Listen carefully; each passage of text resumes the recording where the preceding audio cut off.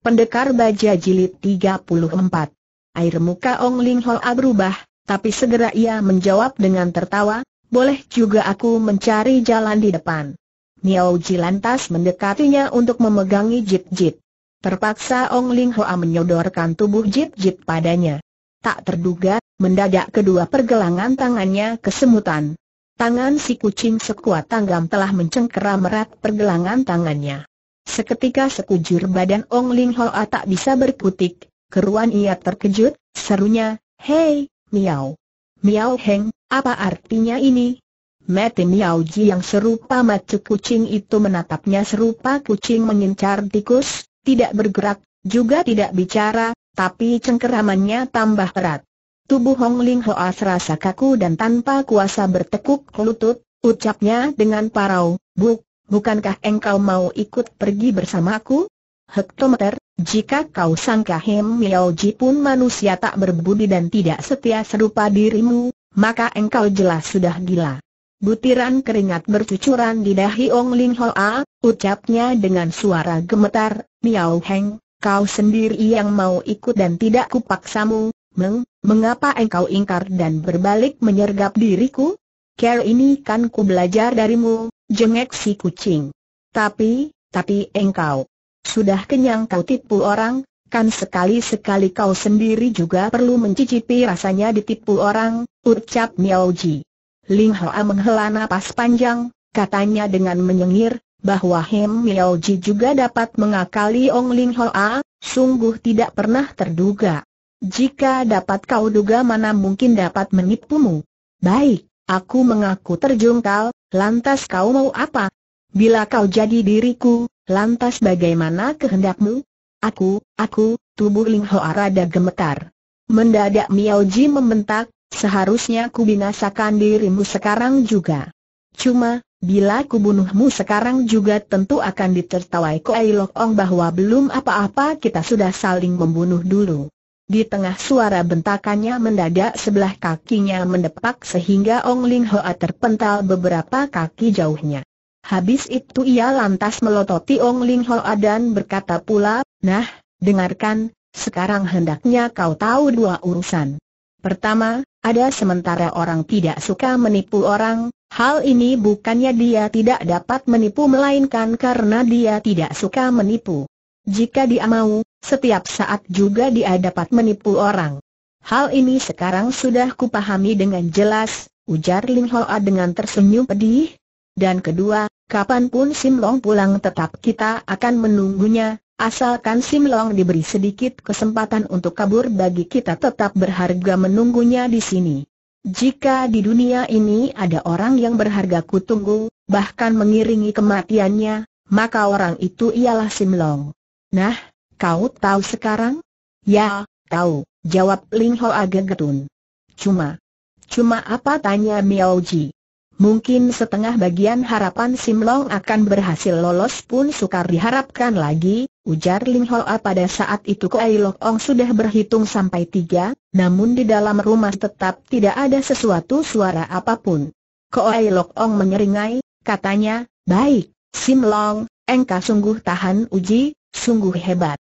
Tapi jika api pun tidak dapat membakar mampus dirimu barulah benar-benar kutakluk kepada kelihayanmu. Mendadak ia memberi tanda dan berteriak, bakar. Di tengah suara bentakan, obor lantas dilemparkan ke rumah itu seperti hujan. Rumah yang terbuat dari kayu itu dengan cepat lantas terjilat api.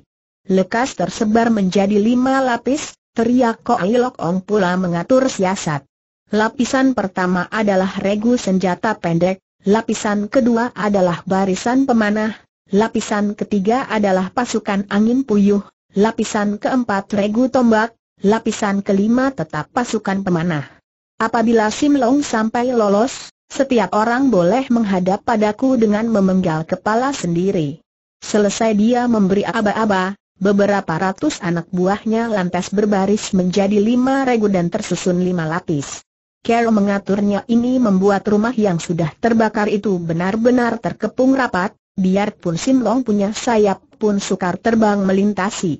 Di dunia ini mungkin tidak ada orang, bahkan burung pun sukar lolos dari kepungan ini, tidak ada makhluk hidup yang mampu kabur dari rumah ini saat itu Miao Ji baru saja berhasil melancarkan hiatsu jit-jit yang tertutup, tapi kontan jit-jit menjutusnya, dengan tepat mengenai dada si kucing, bahkan si Nona lantas mencaci maki, kucing busuk, binatang licik, aku lebih suka mati daripada pergi bersama kawanan hewan semacam kalian ini. Sembari mencaci maki ia pun menghantam lagi. Berturut-turut Miao Ji terkena tiga kali pukulan baru dapat dipegangnya tangan si Nona, ucapnya dengan suara lembut, sabar dulu, coba kau lihat ke belakang. Sambil meronta berteriak, aku tidak mau melihat, tidak mau. Meski di mulut bilang tidak mau, tidak urung kepalanya sudah menoleh, maka dapatlah dilihatnya Ong Ling Hoa menggeletak di sana. Seketika dia urung menghantam lagi dan berdiri melongot, ucapnya dengan tergegap, Hi, se. Miao Ji sesungguhnya kan tidak serendah sebagaimana kau duga bukan kata si kucing. Jit Jit tercengang, akhirnya menunduk dan berucap, Ya, aku salah, Miao Ji, hendaknya jangan kau marah padaku. Mana bisa ku marah padamu ujar Miao Ji dengan tersenyum. Waktu Jit Jit mengangkat kepalanya, air matanya berlinang-linang, katanya dengan sedih, maaf, aku salah padamu, mengapa selalu aku? Miao Ji melengos dan tidak memandangnya, sebaliknya ia tertawa dan berkata, mempunyai adik perempuan yang begini menyenangkan, tidak menjadi soal bila kakak mengalami sedikit kesusahan. Tanpa terasa Jit-Jit memegang tangannya, adik sedikit pun tidak menyenangkan, yang menyenangkan adalah kakak. Miao Ji tergelak, apabila anak perempuan lain berpendapat serupa dirimu tentu beruntunglah bagiku. Jika anak perempuan lain tidak berpikir demikian, maka dia pasti orang tolol, ujar Jit Jit. Lelaki mana di dunia ini yang mempunyai hati terbuka serupa dirimu? Hati terbuka apa? Aku cuma pelupa saja. Terhadap urusan yang sudah lalu dapat kulupakan terlebih cepat daripada siapa pun.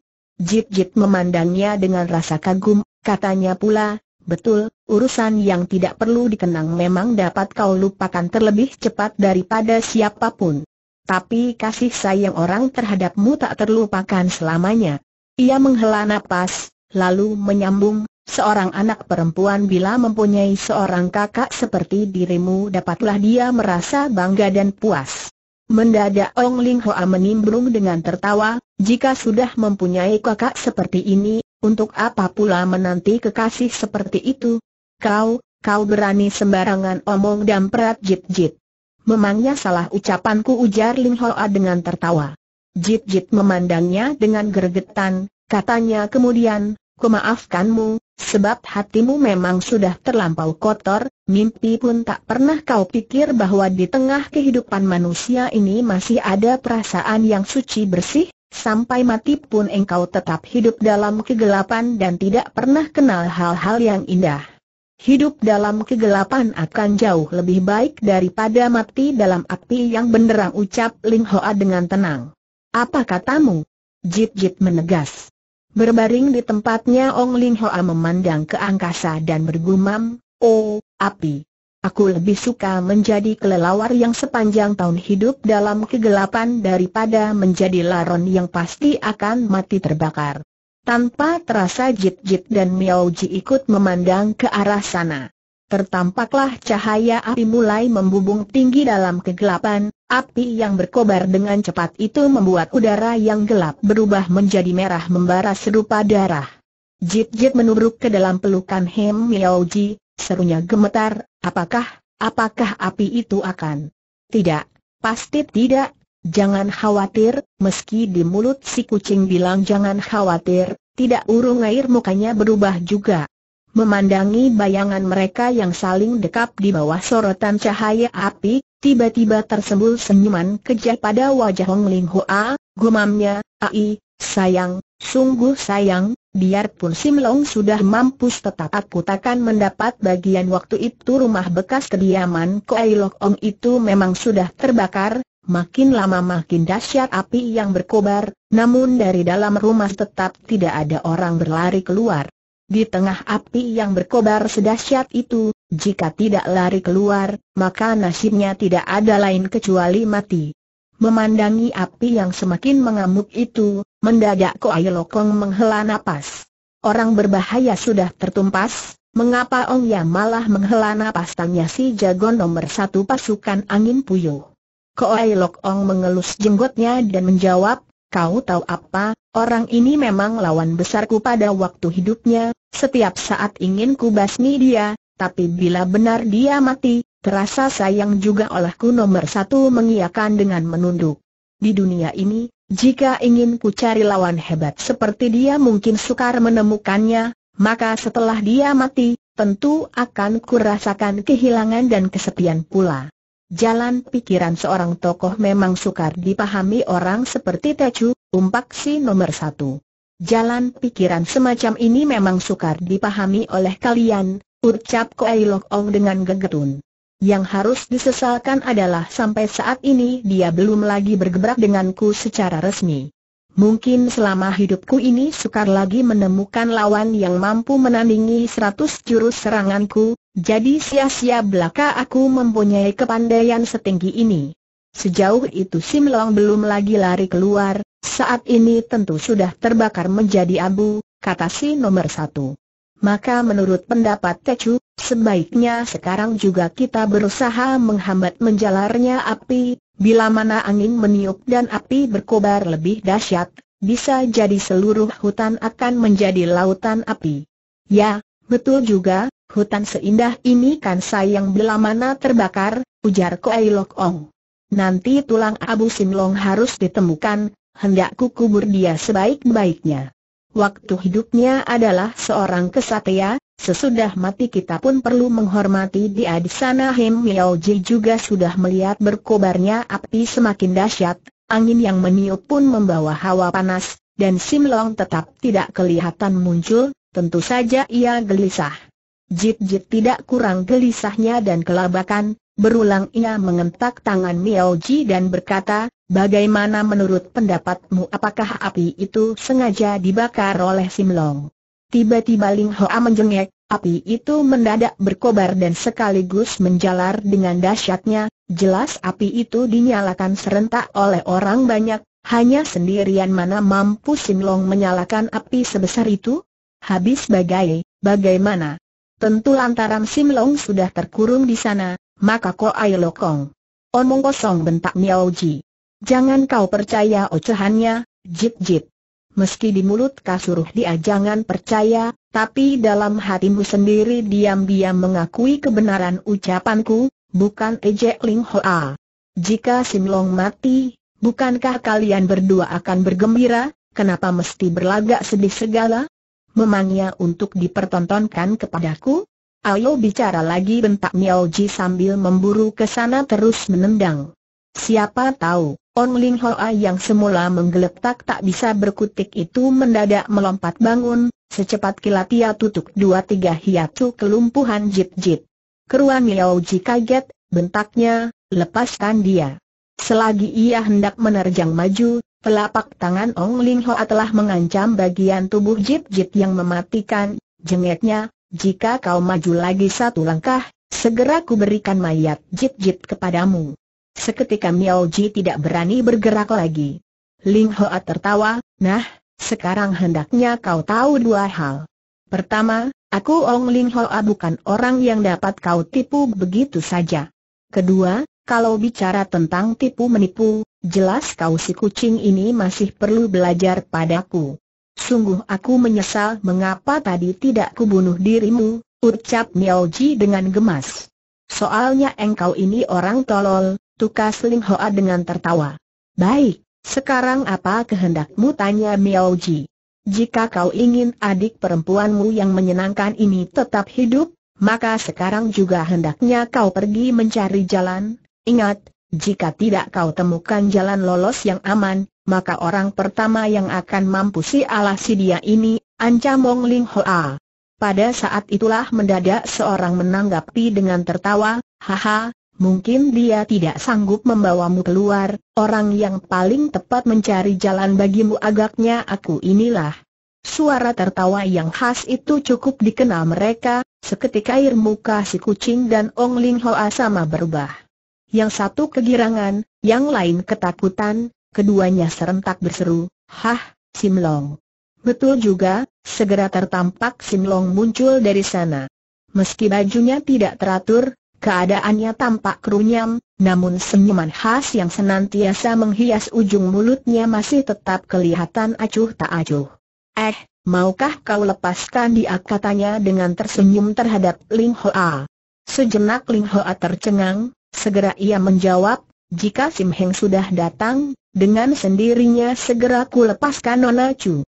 Sembari membebaskan Hiat Chu Jit Jit yang ditutupnya, segera ia menyambung pula, karena mengingat Sim Heng telah menyerempet bahaya bagiku, sebaliknya Miao Heng ini justru main pat gulipat dengan Nona Chu ini di sini, mau tak mau aku ikut penasaran bagi Sim Heng, maka ku tutup Nona Chu. Terima kasih atas maksud baikmu, kata Sim Long dengan tersenyum. Jit Jit lantas menubruk ke dalam rangkulan Sim Long, tanyanya, masa, masa kau percaya kepada ocehannya? Kau kira aku percaya padanya jawab Sim Long tertawa. Haha, jika Sim Long begitu gampang dibohongi orang dan mudah diadu domba memangnya aku si kucing mau memasrahkan jiwaku kepadanya seru Miao Ji dengan tertawa. Sambil meraba dada Sim Long, Jip Jip bertanya dengan suara lembut, kenapa baru sekarang engkau datang? Apakah kau tahu betapa kami cemas bagimu? Di tengah taman sana penuh pos penjaga, mau tak mau aku harus berlaku hati-hati, kata Simlong. Ah, coba, betapa aku memikirkan diriku sendiri tanpa memikirkan bahaya yang kau hadapi, malahan ku meli kelambatanmu kembali ke sini, engkau tentu tidak marah padaku, bukan ujar Jit Jit. Haha, engkau dapat bicara demikian, hal ini menandakan sekarang engkau sudah dewasa, seru Miao Ji.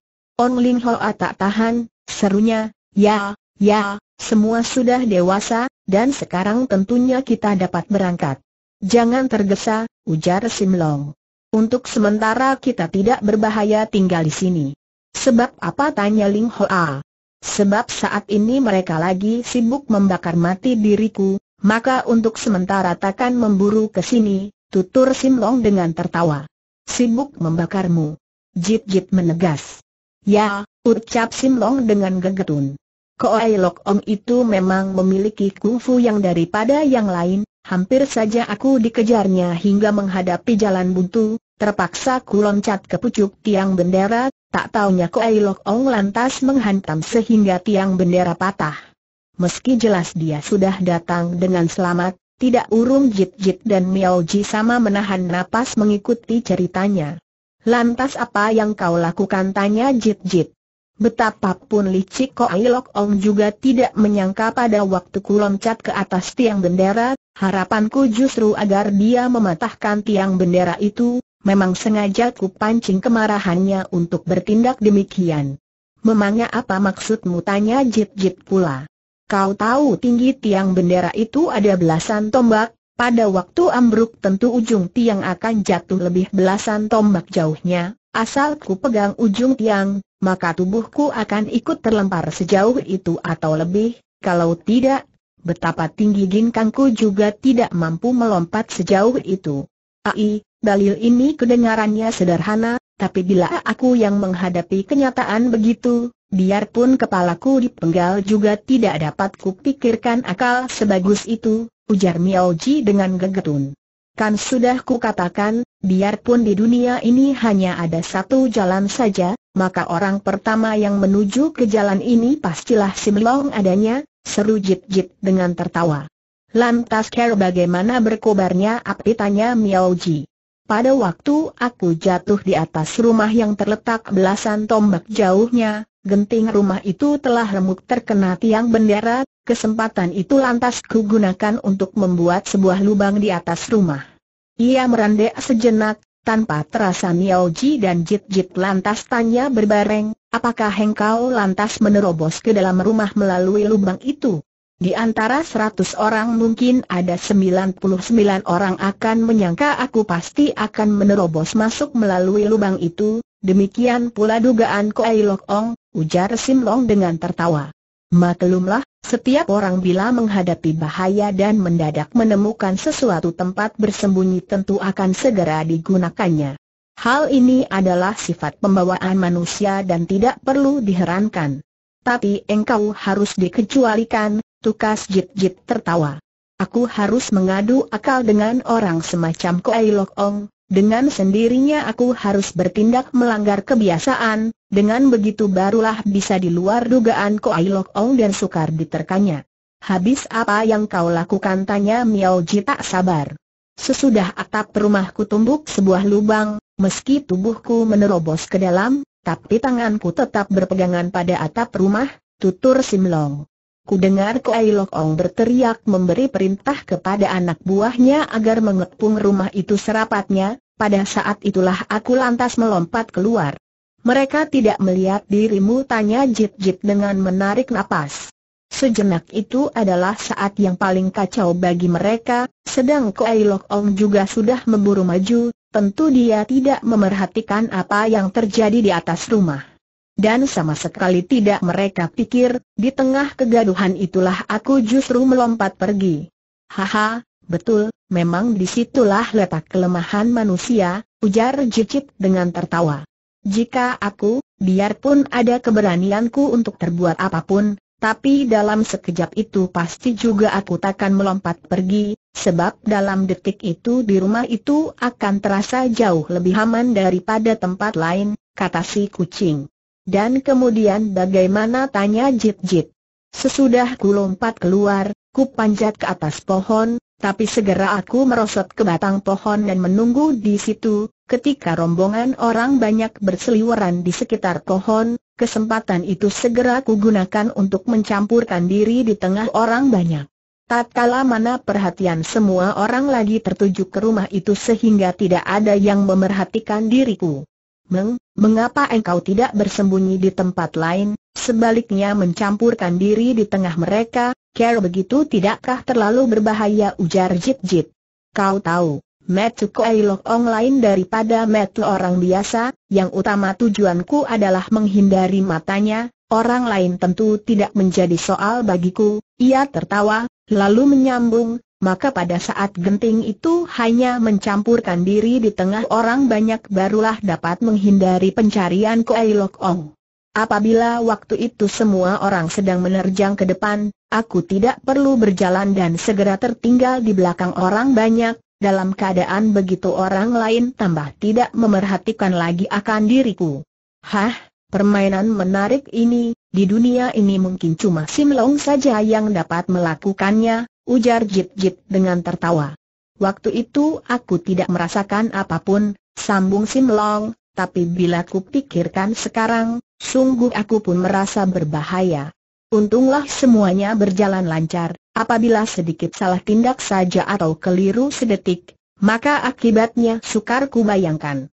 Sampai di sini mau tak mau Ong Ling Hoa merasa kagum juga, katanya, bicara terus terang, kecerdikanmu itu harus dipuji. Dalam keadaan begitu, sedikit salah hitung saja tentu sukar bagimu untuk kabur lagi. Makanya kau sangka aku pasti tidak dapat kembali ke sini, bukan tanya Sim Long dengan tersenyum. On Ling Hoa tidak berani menjawab, ia membelokkan pokok pembicaraan, jika sekarang Koai Lok Ong dan anak buahnya berada di tempat kebakaran, kenapa kesempatan ini tidak kita gunakan untuk menerjang pergi selekasnya? Meski kesempatan sudah ada, sebaiknya kita menunggu lagi sebentar, ujar Sim Long. Sebab apa tanya Ling Hoa? Saat ini kan Sim Long sudah terbakar mati, Berita ini belum tersiar, tapi selekasnya pasti akan tersiar, tutur Simlong. Bila mana pos penjaga di luar sana mendapat berita ini, penjagaan pasti akan longgar, kan menjadi mudah bagi kita untuk menerjang keluar. Ai, kecerdasan Sim Heng sungguh sukar ditandingi, kata Ling Hoa dengan gegetun. Hektometer, sampai sekarang masih juga kau bicara pelin-pelan begini, sesungguhnya kau harus ditinggalkan di sini, Jengek Jit Jit. Ai, kenapa Nona? Belum lanjut ucapan Ling Hoa, mendadak terdengar suara rintihan orang, seperti datang dari rumah berhala sana.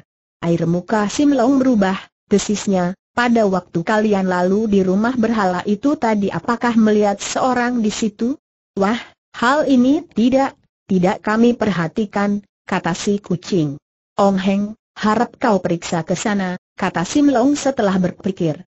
Caramu mengatur ini sungguh sangat cerdik, ucap Ling Hoa dengan menyengir.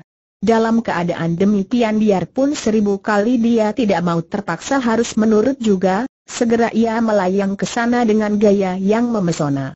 Lebih dulu dia mengitar satu kali di luar rumah berhala itu dengan cepat, dipungutnya dua potong batu kecil dan dilemparkan ke dalam melalui jendela, sebaliknya ia langsung menerjang masuk melalui pintu. Orang ini sebenarnya seorang maha pintar dan berbakat besar, kata Sim Long dengan tersenyum. Jika tidak ada rasa sayang akan bakatnya yang hebat itu, tentu tadi sudah kubinasakan dia, ujar si kucing dengan gegetun. Meski dia seorang busuk, kebusukannya membuat orang gregetan, tapi tidak juga menjemukan, kalau dibandingkan Kim Put Hoan dan sebangsanya jelas dia terlebih tinggi kelasnya. Di dunia sekarang orang busuk seperti dia mungkin sukar dicari bandingnya, dibandingkan dia, Kim Put Hoan boleh dikatakan tidak masuk hitungan, kata Sim Long dengan tertawa. Kim Put Hoan hanya seorang Xiao Jin, orang kecil, rendah, sebaliknya dia boleh dibilang kuncu, lelaki sejati, gentleman, kaum Xiao Jin. Betul, dia memang tidak busuk sampai juga tidak ada sisanya, ujar Jit Jit. Terkadang dia menyerupai manusia, bahkan selalu dapat berganti haluan menurut arah angin, tidak nanti main belit dan ngotot. Umpamanya tadi, begitu Sin Long muncul segera ia lepaskan diriku. Apabila Kim Put Hoan dan sebangsanya pasti tidak akan ngotot dan bertahan mati-matian. Dalam hal ini, memang dia dapat bertindak cerdik, kalau tidak. Belum lanjut ucapan Miao Ji, mendadak terlihat Tong Ling Hoa melompat keluar dari rumah berhala itu dengan wajah yang kelihatan terheran-heran, ia melirik sekejap kepada Chu Jicit lalu berpaling dan berkata kepada Sim Long dengan tertawa, Eh, coba kau terka siapa yang berada di situ? Sim Long berkenyit kening, belum lagi ia menjawab Jit Jit lantas berseru, sesungguhnya siapa? Lekas katakan. Ling Hoa tersenyum misterius, tuturnya, sesudah masuk ke situ, sebenarnya aku tidak melihat dia, rupanya dia disembunyikan orang di bawah meja sembahyang, bahkan seperti terluka sangat parah. Belum habis ceritanya, serentak Sim Long melayang ke sana. Jit Jit mengentak kaki dan mengomel, dia, dia sesungguhnya siapa dia? Ye Uleng Kiong Chu Vivi, jawab Ling Hoa sekata demi sekata di tengah malam remang rumah berhala terasa seram. Malaikat bunga, malaikat yang dipuja dalam rumah berhala itu, malaikat yang cantik, namun keseraman pada rumah berhala umumnya hampir serupa. Betapapun malaikat yang dipujanya malaikat bunga yang cantik atau malaikat langit yang bermuka bengis. Berkat cahaya lemah yang menyorot masuk dari luar pintu, akhirnya Sim Long dapat menemukan Pek Vivi. Sungguh hampir tidak menyerupai Pek Vivi lagi, apabila tidak didengarnya lebih dulu dari Ong Ling Hoa tentu Sim Long pangling padanya. Sinona yang meringkuk di bawah meja sembahyang itu sekarang tidak mirip lagi Pek Vivi yang lembut dan cantik, juga tidak serupa Ye Uleng Kiong Chu yang kejam dan membuat orang ketakutan itu. Saat ini dia cuma seorang anak perempuan yang awam dan minta dikasihani, dengan sujud dia lagi memohon orang suka menolongnya. Mukanya kelihatan pucat pasi. Sekarang ia pun melihat Simlong. Air matanya bercucuran, Ucapnya dengan lemah dan rada gemetar, Sim Long, mengapa, mengapa engkau belum lagi mati? Mengapa engkau datang lagi dan kenapa muncul pada saat demikian? Dengan tenang Sim Long memandangnya, katanya, meski kau perlakukan diriku care begitu namun aku tetap akan menolongmu. Kedatanganku seharusnya menggembirakan dirimu. Tidak, aku tidak perlu pertolonganmu, aku lebih suka mati, teriak Pek Vivi dengan parau. Aku pun tidak ingin kau lihat keadaanku seperti ini. Dalam pandanganmu, biarpun aku dirasakan tidak menarik, biarlah kau rasakan benci dan menakutkan. Air matanya berderai, ratapnya pula, oh, mati pun aku tidak mau mendapat belas kasihanmu, lekas kau, kau keluar saja, lekas keluar. Sim Lang tetap memandangnya dengan tenang, katanya, mengapa engkau berubah serupa ini? Engkau sudah tahu, mengapa perlu tanya lagi jawab Vivi dengan pedih? Aku tidak tahu, kata Sim Long. Vivi memukul lantai dengan tangan, teriaknya parau, jelas kau tahu aku bukan tandingan Koai Lok Ong, dia yang melukaiku dan membuangku di sini. Ku tahu maksudnya, yaitu supaya kau lihat keadaanku ini. Dan sekarang sudah puas bagimu, bukan? Sim Long menghela napas, gumamnya, puas. Tiba-tiba sebuah tangan meraih lengannya. Itulah tangan Cu Jit Jit. Pergi, enyah, semuanya enyah teriak Vivi pula. Tidak perlu berlagak mesra di depanku. Cu Jit Jit, ku tahu kau benci padaku, boleh kau bunuh aku. Jip Jip memandangnya sejenak, mendadak ia pun menghela napas, katanya, memang betul pernah ku benci padamu, membencimu hingga merasuk tulang sumsum, -sum, tapi sekarang, ia berpaling ke arah Sim Long dan berucap, marilah kita membawa pergi dia. Sim Long tetap berdiri dalam saja. Miao Ji juga memandang Sim Long, katanya, aku tidak peduli bagaimana keputusanmu, tapi bila aku disuruh membiarkan seorang anak perempuan yang dekat ajalnya tertinggal di sini, betapapun tidak dapat kusetujui. Sim Lang tetap tidak bicara. Ken, kenapa engkau diam saja seru Jit Jit dengan mengentak kaki. Ku tahu sebab apa dia tidak bicara, jengek Ling Hoa. Sebab apa tanya Jit Jit. Mungkin ini pun salah satu akal keji Koai Lok Ong, ujar Ling Hoa. Dia sengaja meninggalkan Pek yang terluka parah ini di sini, tujuannya bila kita sempat lari dengan membawa dia, maka lari kita pasti takkan mencapai jauh. Bagaimana Sim Long, apakah begitu maksud tujuan Koai Lok Ong tanya Jit Jit? Bukan, jawab Sim Long. Habis bagaimana? Miao Ji, boleh kau gendong dia, kata Sim Long tiba-tiba. Masa, masa benar kalian mau menolong kuratap Vivi? Miao Ji tidak bersuara melainkan terus menggendongnya.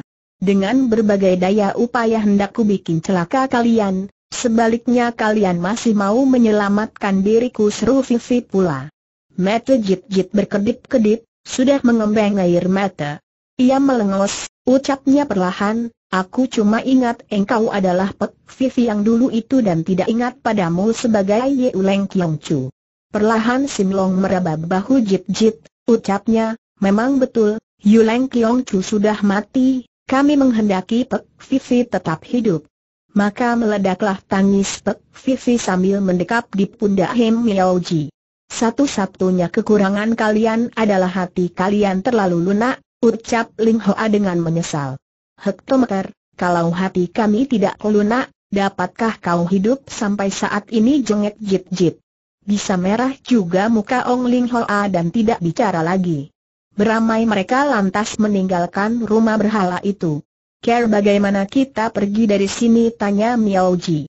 Ong Kong Chu silakan merintis jalan di depan, aku dan Jit Jit mengawal di belakang, kita terjang bagian tengah yang luang, kata Sim Long. Bagian yang luang? Ling Hoa menegas. Mengapa kita tidak melalui kaki bukit? Penjagaan di dekat bukit pasti sangat keras, Justru bagian tengah yang lapang itu penjagaan akan kurang rapat, ujar Simlong. Apalagi sesudah api berkobar tentu mereka akan menyaksikan kebakaran itu dari tempat ketinggian. Ai, sekali ini kau pun tepat lagi, ujar Ling Hoa dengan gegetun. Pek Vivi yang mendekap di pundak Miao Ji itu mendadak mengangkat kepalanya dan menyela, tidak tepat. Kenapa tidak tepat tanya Simlong. Vivi tersenyum pedih, kalian sebaik ini kepadaku, maka aku. Tiba-tiba Ong Ling Hoa berseru, aha, betul, gua ini adalah sarangnya, tentu dia mempunyai jalan rahasia untuk meloloskan diri dari sini. Dengan tenang Vivi berkata pula, meski parah lukaku, tapi bila kalian membebaskan ketiga Hiat Su Hang Ji, Go An Tiao dan Yang Kuan Hiat, dapatlah aku berjalan sendiri, sedikitnya dapat ku bawa kalian keluar dari sini. Apakah jalan ini memang?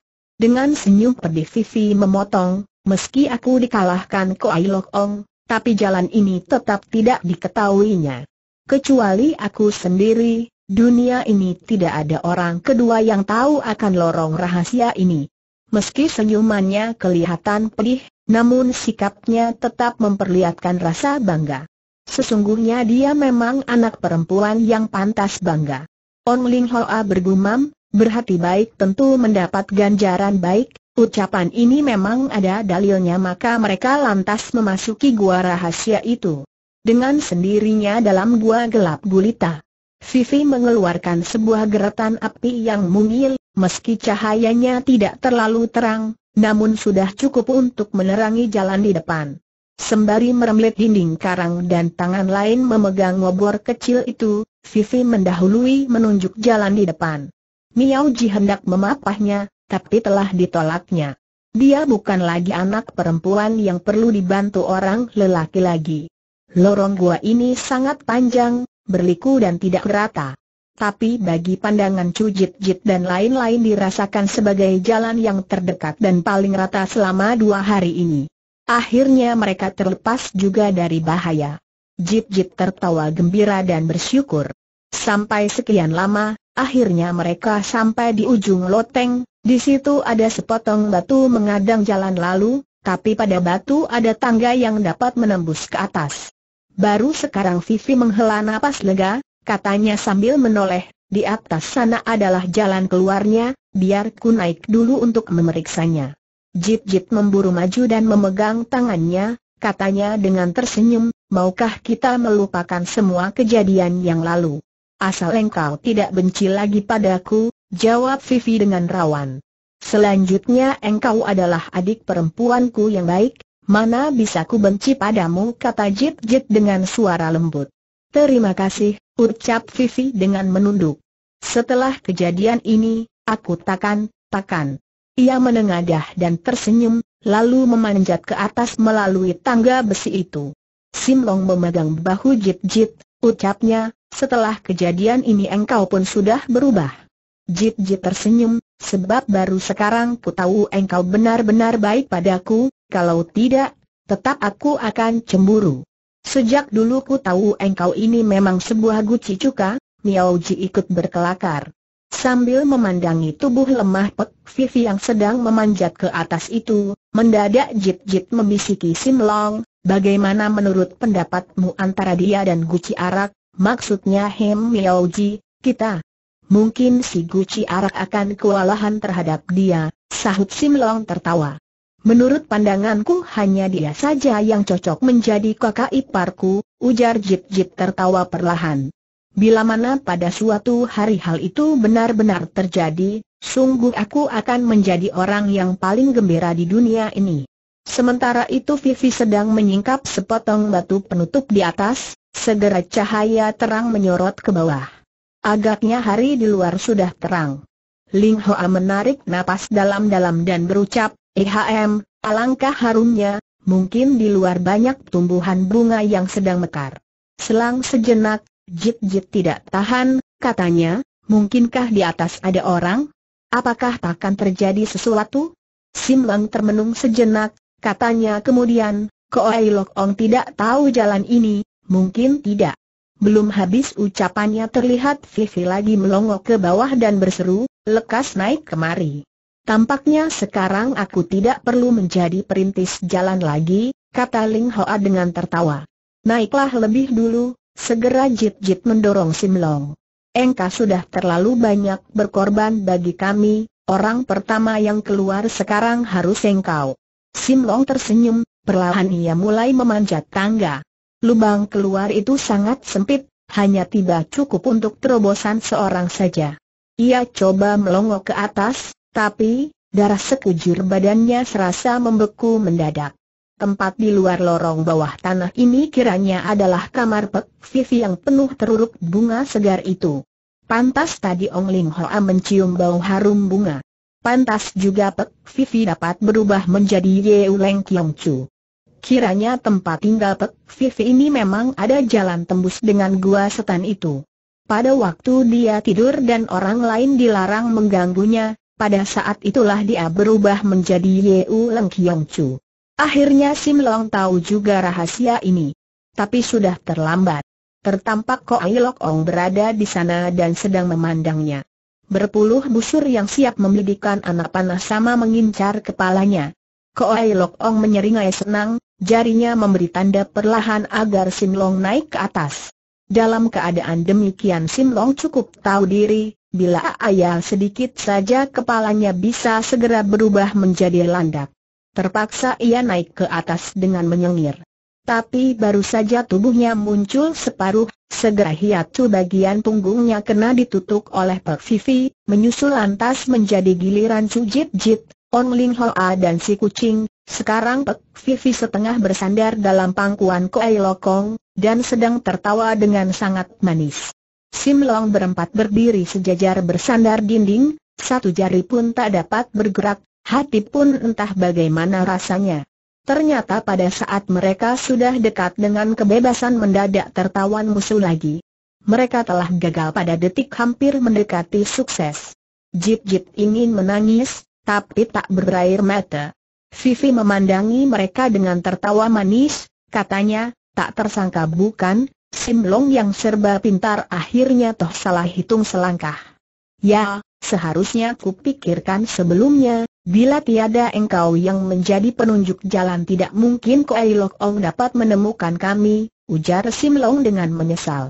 Sekarang kau bawa kami kepada Koai Lok Ong, bukan saja engkau dapat meminjam golok untuk membunuh orang, bahkan dengan demikian engkau akan mendapat pujian dari Koai Lok Ong.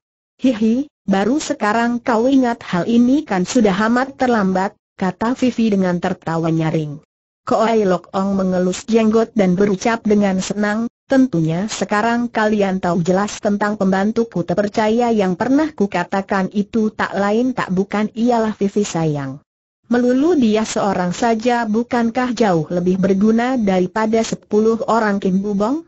Ya, dia memang anak perempuan paling lihai yang pernah kulihat selama hidupku ini, ujar Rong Ling Hoa dengan menyengir.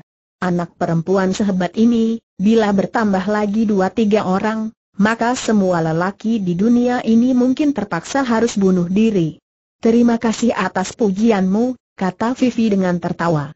Bagus, aku juga sangat kagum padamu, tukas Miaoji. Tapi care bagaimana engkau bisa berada di rumah berhala itu, sungguh aku tidak mengerti. Soalnya orang lain sama bilang Sinlong akan mati terbakar, hanya aku saja yang tidak percaya, Sebab kupikir Simlong takkan mati semudah itu, kata Vivi.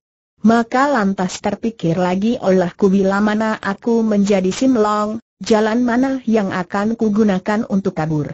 Dengan sendirinya hanya ada sebuah jalan saja, maka ke situ pula ku pergi dan benar juga dapatlah ku pergoki kalian. Ling Hoa menghela napas, Simlong dapat merabat perasaan orang lain, tapi engkau justru dapat meraba jalan pikiran Sim Long, nyata engkau lebih unggul daripada Sim Long. Mendadak Jit-Jit mendengus, hektometer, bukanlah dia lebih unggul daripada Sim Long, soalnya hati Sim Long tidak sekejam dia, juga tidak rendah, kotor dan hianat, lupa budi dan ingkar janji seperti dia. Kan sudah sering kukatakan, kelemahan Sim Long yang terbesar adalah hatinya terlampau lunak, ujar Ling Hoa dengan gegetun. Haha, dalam hal ini pandanganmu ternyata sama denganku, tukas Koai Lok Ong dengan berkeplok tertawa. Tiba-tiba Miao Ji berseru, sesudah kau pergoki kami, mengapa tidak kau perintahkan anak buahmu menawan kami? Eh, kucing cilik, masakah hal ini tidak kau pahami sahut Vivi dengan suara lembut. Waktu itu bila ku perintahkan orang menangkap kalian, rasanya belum tentu berhasil, bisa jadi kesempatan itu akan digunakan kalian untuk kabur. Ku tahu, otak kalian meski tidak banyak berguna, tapi kungfu kalian kan tidak boleh diremehkan. Makanya engkau sengaja berlagak terluka parah tanya Miao Ji dengan gemas. Betul, jawab Vivi dengan tertawa. Aku pun banyak menelan pahit getir baru berhasil menipu kalian. Bukan saja ku tutup hiatoku sendiri bahkan ku pukul diri sendiri dua tiga kali, sampai sekarang tubuhku masih sakit pegal. Masa engkau yakin kami takkan mengetahui luka parahmu yang pura-pura itu teriak Miao Ji pula. Kalian kan jantan sejati seluruhnya, dengan sendirinya kalian takkan memeriksa tubuh seorang perempuan, apalagi waktu itu keadaan gelap gulita, mukaku juga sangat pucat. Dari mana kau tahu kami pasti akan menolongmu tanya Jit Jit dengan gemas. Kalian bukan saja jantan sejati, rata-rata juga berhati welas asih, serupa apa yang dikatakan si kucing ini, tidak nanti dah menyaksikan seorang anak perempuan menghadapi ajalnya tanpa memberi pertolongan, betul tidak? Waktu itu aku cuma diam saja, aku justru khawatir ada tipu muslihatmu, ujar Sim Long gegetun. Sungguh lagakmu itu sangat mirip sehingga aku tertipu tanpa curiga sedikit pun. Coba kalau engkau langsung minta pertolonganku, tentu aku akan curiga malah, tapi begitu bertemu engkau mintaku pergi. Hati orang lelaki memang sudah kuselami dengan baik, kata Vivi dengan tertawa adalah biasa, semakin kau suruh dia pergi, dia berbalik tidak mau pergi. Cujit-jit, untuk ini kau harus belajar dariku, jika satu bagian kepandaianku ini dapat kau kuasai, tentu selanjutnya engkau takkan mengalami kegagalan lagi. Jit-jit mendengus, hektometer, kenapa harus kutiru dirimu, jika engkau sedemikian memahami hati orang lelaki, mengapa Sim Long tetap tidak suka padamu? Kukira engkau yang harus belajar padaku. Air muka Vivi rada berubah, tapi segera tertawa dan berkata, kau kira Sim Long suka padamu. Jit Jit mendongak dan berteriak, tentu saja. Ai, cici yang baik, jangan kau lupa, orang mati kan tak dapat menyukai siapa pun, ucap Vivi dengan suara halus.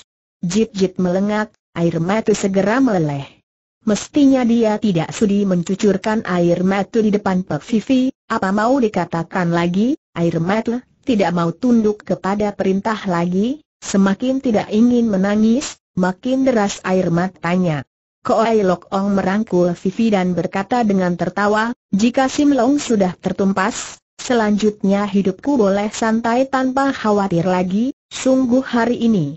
Mendadak Miao Ji berteriak, sekarang juga kau kira tidak ada yang perlu kau khawatirkan, apakah jalan pikiranmu ini tidak terlalu dini? Oh, maksudmu tanya Koai Lok Ong. Apakah kau tahu engkau masih ada seorang lawan paling besar kata si kucing? Bahkan dia jauh lebih benci padamu daripada kami. Paling banyak kami hanya ingin mencabut nyawamu, tapi dia justru ingin makan dagingmu dan membeset kulitmu. Hah, Apakah benar ada orang begini? Siapa dia tanya Ko Lokong dengan tersenyum.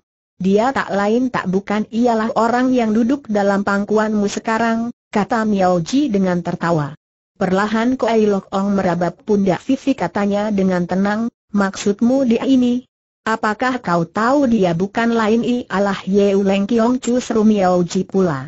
Hahaha, memangnya kau sangka aku tidak tahu? Ko Lokong bergelak tertawa. Jika aku tidak tahu, tentu dia takkan duduk dalam pangkuanku. Di seluruh kolong langit ini kecuali Yeu Leng Kiong Chu, perempuan mana yang setimpal berjodoh denganku?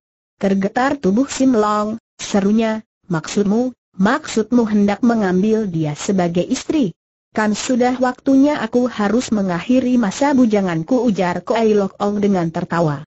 Tapi dia, dia sebenarnya kan belum lagi ucapan putrimu terucapkan oleh Sim Long, tahu-tahu mukanya sudah digampar oleh Pek Vivi. Dengan sorot mata setajam semilu Vivi menatapnya dan menjengek, baru saja kudapatkan kekasih pilihan, kau berani sembarangan memfitnah? Tapi, tapi kalian adalah Berani kau bicara satu kata lagi segera kubinasakan kau, bentak Vivi dengan bengis. Mendadak Ong Ling Hoa berseru, Ye Uleng Kiong Chu dan Ko Ai Lokong memang pasangan yang sangat setimpal, mengapa Sim Heng sengaja mengacaukan perjodohan mereka, kan perbuatan yang paling tidak bermoral merusak perjodohan orang lain? Sim Long menghela napas panjang dan tidak bicara lagi. Dengan gemulai Vivi berjalan mendekati Ko Ai Lokong lagi, katanya dengan senyum memikat, sekarang beberapa orang ini sudah menjadi milik Ong Ya, Care bagaimana Ong Ya akan memperlakukan mereka? Tiara penyakit hanya akan mendatangkan bencana saja, lekas dibasmi akan lebih baik, kata Koai Lok Ong. Sekarang juga Ong Ya ingin membunuh mereka tanya Vivi. Ya, kalau tertunda lagi ku khawatir akan terjadi perubahan. Metu Vivi mengering, katanya dengan tersenyum manis, biarlah ku ceritakan suatu kejadian dulu, apakah Ong Ya mau mendengarkan? Koai Lok Ong tidak tahu mengapa dalam keadaan dan di tempat ini Vivi jadi iseng dan ingin mendongeng segala, jawabnya dengan tertawa, jika kau mau bercerita, tentu saja dengan senang hati akan ku dengarkan. Dahulu ada seorang lelaki, demikian Vivi mulai bertutur dengan suara lembut, dia senantiasa ingin makan daging angsa, tapi meski dia sudah berusaha dengan susah payah, peras keringat dan tenaga, sepotong daging angsa pun tidak berhasil dimakannya. Meski dongeng ini tidak menarik, tapi ia bicara dengan suaranya yang lembut dan khas itu sehingga mempunyai daya tarik tersendiri. Dengan tertawa Koai Lok Ong menanggapi, wah, di dunia ini banyak sekali orang yang ingin makan daging angsa, tapi siapakah yang benar-benar dapat memakannya? Tapi orang itu terhitung beruntung, setelah mencari sekian lamanya, akhirnya dapatlah diketemukan sepotong daging, saking senangnya sekaligus daging angsa itu ditelannya bulat-bulat. Wah, watak orang ini sungguh tidak sabar, ujar Koai Lok Ong. Seterusnya setiap orang tahu dia pernah makan daging angsa, tutur Vivi lebih lanjut, tapi bila ada orang tanya padanya bagaimana rasanya daging angsa, satu kata pun dia tidak sanggup menjawab. Sekaligus daging itu ditelannya begitu saja, dengan sendirinya bagaimana rasanya tidak diketahuinya, ujar Koai Lok Ong. Ya, barang yang diperoleh dengan susah payah, jika ditelan begitu saja, kan sangat sayang? Maka, akhirnya semua orang tidak kagum lagi akan keberuntungannya dapat makan daging angsa, sebaliknya malah menganggapnya sebagai orang tolol. Koai Lok Ong terdiam sejenak sambil menatap Sim Long, katanya kemudian, betul, dengan susah payah baru dapat kutangkap dirimu, jika begitu saja kubunuhmu kan terlalu sayang dan bukankah akan ditertawakan orang pula sebagai orang tolol? Apalagi, setiap orang di antara mereka juga ada harganya untuk diperalat, tukas Vivi dengan tenang. Tebu yang belum habis kita isap airnya, kenapa sepahnya buru-buru dibuang? Haha, seorang lelaki kalau mendapat istri yang pintar, sungguh merupakan pembantu yang berguna dan beruntunglah lelaki itu, seru Koai Lok Ong dengan gembira. Jika begitu keempat orang ini, kan hasil tawananmu, biarlah ku serahkan mereka kepadamu untuk dibereskan. Vivi tertawa merdu, katanya, ku kira mereka lebih suka mati daripada Ong Ya menyerahkan mereka kepadaku, sekarang Sim Long berempat sudah dipindahkan ke dalam sebuah kamar batu. Di dalam kamar batu ini tidak terdapat apa pun, kosong melompong, mereka duduk di lantai batu yang dingin, bersandar dinding batu yang kasap, seluruh tubuh terasa sakit. Dengan memegang cawan arak Pek Vivi bersandar di pintu dan memandang mereka dengan mengulum senyum, katanya, bolehlah kalian meringkuk semalam di sini, besok juga Koai Lok Ong akan membawa pulang kalian, meski belum pernah kukunjungi tempat itu tapi ku yakin pasti suatu tempat yang bagus. Maksudmu Koai Lok Ong akan pulang kandang tanya Ling Hoa. Esok pagi dah akan berangkat, Taman hiburan ini memang juga tidak ada sesuatu yang membuatnya merasa berat untuk ditinggalkan, ujar Vivi. Haha, dapat melihat sarang Koai Lok Ong yang asli, rasanya boleh juga, kata Ling Hoa. Cuma, mengapa saat ini tidak digunakannya untuk menyerbu ke Tionggoan sebaliknya malah pulang kandang? Kau tahu, dia adalah seorang yang pakai perhitungan, peperangan yang tidak meyakinkan pasti akan menang tidak nanti dilakukannya, ujar Vivi. Pada sebelum dia menyerbu Tionggoan, dengan sendirinya masih diperlukan berbagai persiapan, apalagi. Ia tersenyum manis, lalu menyambung, bahwa sekali ini dia mundur kembali lebih dulu, tujuan utamanya adalah untuk menikah denganku. Akhirnya Sim Long tak tahan, apakah benar? Kau mau jadi istrinya? Kau cemburu tanya Vivi dengan terkikik. Jangan kau lupa, betapapun dia adalah ayahmu, kata Simlong. Senyuman manis Pek Vivi itu lenyap seketika, jawabnya sekata demi sekata, justru lantaran dia adalah ayahku, makanya ku nikah dengan dia. Sim Long melenggong, masa, masa kau. Kerlingan mata Vivi yang lembut itu mendadak berubah sejalang setan iblis, ucapnya dengan tersenyum keji, masa belum dapat kau terka maksud tujuanku? Justru sudah dapat ku terka sebelum ini, mendadak Ong Ling Hoa menimbrung. Dapat dibayangkan, apabila Koai Lok Ong mengetahui istri tercintanya ternyata adalah putri kandung sendiri, tatkala mana rasa hatinya pasti lebih sakit daripada disayat-sayat. Ia terbahak-bahak, lalu menyambung, maklumlah, betapa kejamnya dia toh tetap manusia. Vivi menyeringai, nyata engkau dapat memahami maksudku. Betapa darah yang mengalir dalam tubuh kami adalah golongan darah yang sama, darah iblis, darah berbisa. Betul darah berbisa ini adalah keturunannya tak tersangka justru akan meracuni dia sendiri, seruling Hoa dengan tertawa. Miao Ji memandangi mereka dan mengirik, gumamnya, sungguh luar biasa, ternyata ada saudara sedemikian dan, dan ayah dan anak begini pula. Jangan-jangan darah yang mengalir dalam tubuh mereka memang darah iblis. Darah berbisa demikian sungguh tidak boleh menurun lagi yang kau bencikan cuma Koai Ong saja, mengapa kau pun membuat susah kami? Mengapa? teriak Jit Jit. Sesungguhnya ada permusuhan antara kami denganmu. Mengapa aku hendak membunuh kalian? Vivi menegas. Alasannya jelas tidak cuma satu. Alasan apa? Katakan, coba katakan teriak Jit Jit. Jika tidak ku persembahkan kalian kepada Koai Lok Ong, Care bagaimana dapat ku rebut kepercayaannya kepadaku? Kalian adalah alat yang kugunakan untuk mendekati Ko Ai Lok Ong, inilah alasan pertama. Hektometer, masih ada alasan lain jengek Jit Jit. Tentu saja masih ada, jawab Vivi. Aku ini seorang yang bernasib malang, nasibku ini sudah ditakdirkan hanya kesedihan melulu, betapapun tak dapat ku saksikan kalian hidup dengan bahagia.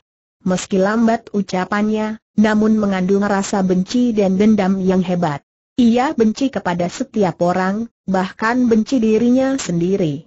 Ia menengadah dan tertawa latah, ku benci tenagaku terbatas.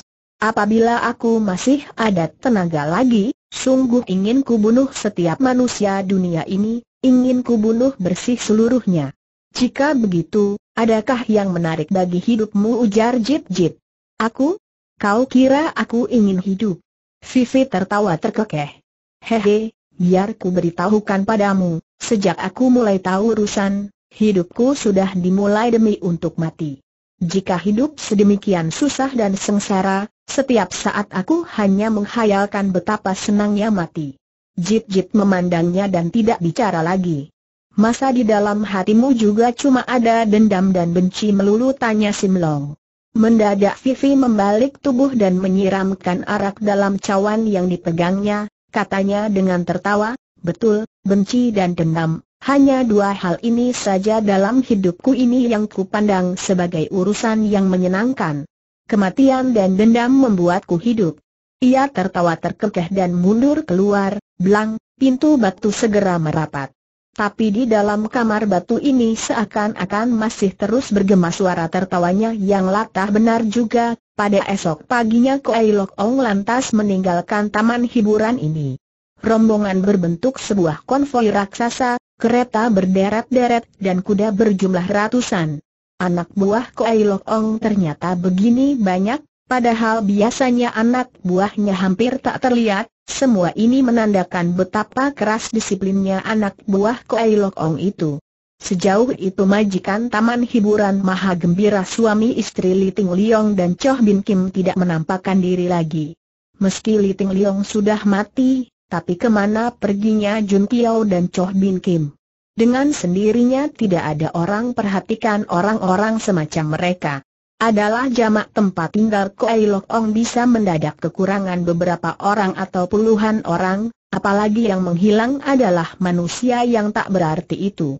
Konvoi besar itu terus menuju ke barat secara berbondong-bondong. Sim Long, Chu Jit Jit, Kim Miao Ji, On Ling Hoa, keempat orang ini berjubel di dalam sebuah kereta. Di atas kereta empat lelaki kekar mengawasi mereka dengan ketat. Padahal tanpa pengawasan juga mereka tidak mampu kabur. tubuh mereka sudah tertutup beberapa tempat hiatsu yang melumpuhkan sehingga tidak dapat berkutik sama sekali. Hari cerah, debu mengepul sepanjang jalan yang dilalui konvoi. Muka Sim Long sudah berlepotan debu, wajahnya kelihatan tidak secerah biasanya, namun senyuman yang selalu menghiasi ujung mulutnya tidak pernah berubah. Biarpun perjalanan merupakan perjalanan maut dan malaikat maut sudah menyongsongnya tetap Simlong akan tersenyum. Menghadapi kematian dengan tersenyum kan jauh lebih baik daripada menangis. Suara roda kereta yang gemuruh dan ringkik kuda yang riuh terus ramai setengah harian hingga tengah hari. Mendadak seekor kuda merah berlari datang, wajah Pek Vivi muncul di luar jendela kereta, senyumnya kembali berubah lembut dan memikat. Ia memberi tanda, segera seorang lelaki pengawal di atas kereta melompat turun. Apakah kau datang mengantarkan makanan? Tanya Ling Hoa. Ya, manaku tega membikin lapar kalian jawab Vivi. Mendadak ia melemparkan sebuah bungkusan ke dalam kereta, ternyata berisi ayam bakar, daging panggang dan beberapa potong siotia. Selama dua hari ini Ong Ling Hoa dan lain-lain boleh dikatakan tidak makan sesuatu, Kini bau sedap makanan sungguh sangat merangsang dan membuat mereka mengiler. Hatimu sangat baik, kata Ling Hoa dengan tertawa. Tapi bila tidak kau buka hiatsu kami yang tertutup, care bagaimana kami dapat makan? Yang penting sudah kuberikan barang makanan, care bagaimana makan adalah urusan kalian, tentunya tidak dapat kau minta kusuapi kalian bukan? Bisa jadi Koai Lok Ong akan cemburu, Jawab Vivi dengan tertawa. Tar, ia ayun cambuk kuda dan tinggal pergi. Jadinya Ong Ling Hoa hanya memandangi makanan lezat itu dengan terbelalak saja tanpa bisa berbuat lain, tentu saja rasa demikian jauh lebih tersiksa daripada hukuman apa pun. Saking gemasnya dada Miao Ji hampir meledak, tapi dia juga tidak berdaya selain memandangi makanan itu dengan melotot. Kalau jari saja tidak dapat bergerak, apa mau dikatakan lagi? Entah selang berapa lama, terdengar suara tertawa merdu itu bergema lagi di luar kereta, kembali Pek Vivi melongok ke dalam kereta, sesudah memandang, katanya dengan tertawa, Ai, mengapa nafsu makan kalian sedemikian kecil, tampaknya makanan ini sama sekali tidak kalian sentuh, apakah kalian takut keracunan atau menganggapnya tidak enak dimakan? Segera tangannya terjulur, bungkusan makanan itu diangkatnya terus dilempar jauh ke sana. Begitulah sepanjang jalan rombongan Simlong telah disiksa secara begitu. Agaknya Pek Vivi memang sengaja menyiksa mereka, rupanya hatinya baru akan senang bila menyaksikan orang tersiksa. Sungguh sadis. Hanya dua hari saja rombongan Simlong sudah tersiksa sehingga tak berbentuk manusia lagi, jelas Cujit Jit sudah jauh lebih kurus. Meski si kucing ingin mencaci maki, namun tenaga untuk bicara saja rasanya sudah habis. Senja hari berikutnya, cahaya matahari senja menyinari pasir yang kuning gelap, entah dari mana datangnya gemas suara nyanyian yang sendu, nyanyian kaum musafir. Waktu kecil sering kubayangkan betapa luas gurun pasir dan betapa terpencilnya kaum pengelana gurun, selalu kuhayalkan pada suatu hari aku sendiri dapat menjelajahi gurun, demikian si kucing berkomentar. Dan sekarang engkau sudah berada di tengah gurun, kata Ling Hoa. Rupanya waktu itu mereka sudah keluar Giok Bun Koan, pintu gerbang ujung barat tembok besar yang termasyhur itu. Ya, sekarang aku sudah berada di tengah gurun, kata Miao Ji. Tapi di mana letak Giok Bun Koan yang megah itu? Mungkin selamanya takkan kulihat lagi. Sekuatnya Jit Jit berteriak, Miao Ji, mengapa kau pun berubah sedemikian lemah dan patah semangat? Di mana keberanianmu yang dulu? Ai, barangkali engkau tidak tahu bahwa di dunia ini hanya kelaparan yang paling cepat menghilangkan keberanian seorang, Ujar Ling Hoa dengan gegetun. Jit Jit tidak bicara lagi. Tiba-tiba kereta kuda berhenti, di luar ada suara keleningan unta. Beberapa pengawal itu membuka pintu kereta, Sim Wang berempat diseret keluar. Di bawah cahaya matahari senja di jalan pasir sana tampak berderet sebarisan unta, beberapa di antaranya pada punuknya dipasang tenda kecil. sejauh mata memandang di depan hanya pasir belaka, itulah Pekliong Tui atau pasir naga putih di luar Giok Bun Koan, setiba di sini, selangkah pun kereta kuda tidak dapat lagi meneruskan perjalanan. Ketika beberapa lelaki pengawal bersuit, segera dua ekor unta mendekam ke bawah. Untuk apa ini tanya Miao Ji. Ini namanya perahu gurun, boleh kau naik, jengek salah seorang lelaki itu sambil melemparkan Miao Ji ke dalam tenda kecil di atas punuk unta. Dengan rawan jit-jit memandang Simlong sekejap, teringat olehnya bila dirinya masih dapat berjubel di dalam tenda kecil itu dengan Simlong dan menyelesaikan perjalanan hidup yang terakhir ini, entah bagaimana rasanya nanti.